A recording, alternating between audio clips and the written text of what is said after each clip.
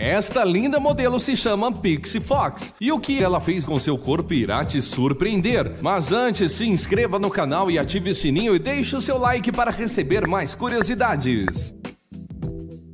A modelo nascida na Suécia já gastou mais de 400 mil reais em cirurgias plásticas para se parecer com a sua personagem favorita.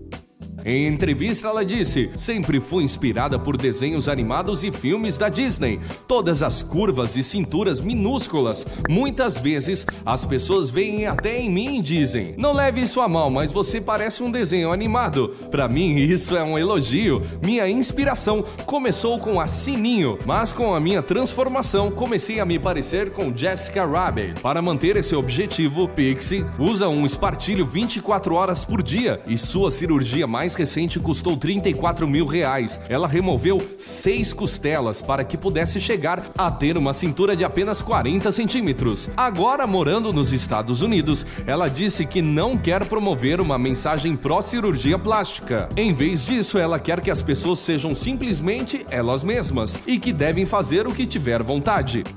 E aí, o que, que você achou da transformação dela? Deixe o seu comentário e se inscreva no canal. E até o próximo vídeo.